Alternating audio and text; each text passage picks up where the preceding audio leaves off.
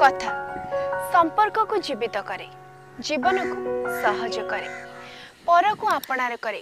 ଆଉ କିଛି ନ ବୁଝିଥିବା ଲୋକକୁ ବହୁତ କିଛି ବୁଝେଇ ଦିଏ କଥା।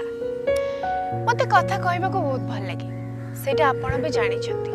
କିନ୍ତୁ କଥା ତ ସମସ୍ତେ କୁହନ୍ତି କଥା ଶୁଣିବା ଲୋକ ଖୁବ୍ କମ୍ ଥାନ୍ତି ଆପଣ ଶୁଣିବେ ଆମ କଥା? କିଛି କଥା ଆମ ପରିବାରର ଆମ ପରମ୍ପରାର ଆମ ସଂସ୍କୃତିର ଆଉ ଆମ ସାହିତ୍ୟର। ଆମ କଥା ଆପଣଙ୍କ କଥା।